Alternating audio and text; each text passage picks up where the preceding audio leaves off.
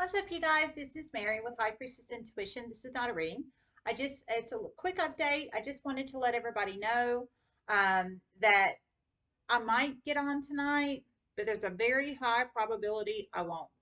Um, even if I get channel messages, I'll write them down and I'll um, do a separate reading, um, probably either Saturday night or Sunday night, maybe even Monday.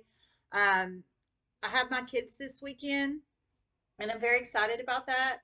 So I'm going to um, take them up to Nashville to a really cool water park called Sound Waves. But, um, it's in the Gaylord Opryland Convention Center um, and resort up there. I've never been up there. Uh, my daughter has. Um, me or my son has not.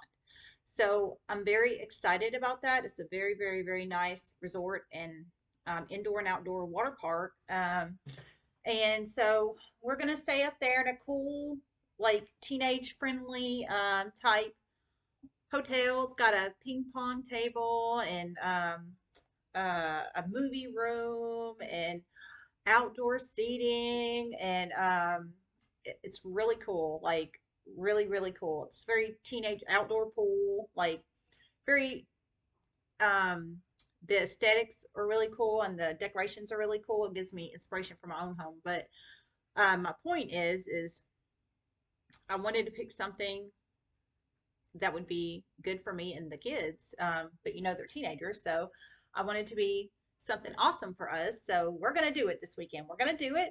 And um, I might get, but my point is for you guys, I might get on this weekend. But if I get downloads or something, I'll just write them down. I'll write them down and um, I'll do it when I get on. But my first priority this weekend is my kids.